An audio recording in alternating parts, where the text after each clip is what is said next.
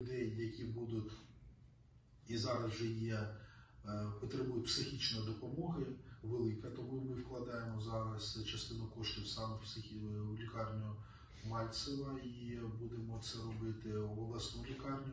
Об'єднуємо то, щоб оптимізувати процеси, щоб зменшити навантаження непрофільних е, видів діяльності. І саме головне це те, що у нас вдалося З ПРООНом е, виграти напрямки щодо розвитку 750 мільйонів коштів, які ми можемо реалізувати в цьому році в е, області. Це запустить і е, будівну промисловість, тому що будівельники у нас зараз без роботи знаходяться здебільшого. Тому оці основні напрямки. Що стосується військових, то не все можу розголошувати, але всі ті координації, вся те, що є, те, що ми запланували і відклали кошти в резервному фонді, то вони будуть.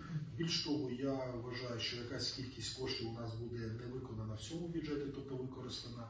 Будуть вільні лишки, подивимось, на якому рівні вони будуть. Вже е, в кінці січня, на початку лютого місяця, будемо розуміти, які у нас є загальні фінансові ресурси і що ми зможемо направити. Онко напрямок дуже важливий, тому що якщо ми за останні роки підтягнули дуже потужну обласну лікарню, серед, е, с- е, е, підтягнули кардіоцентр у нас він сучасний в країні.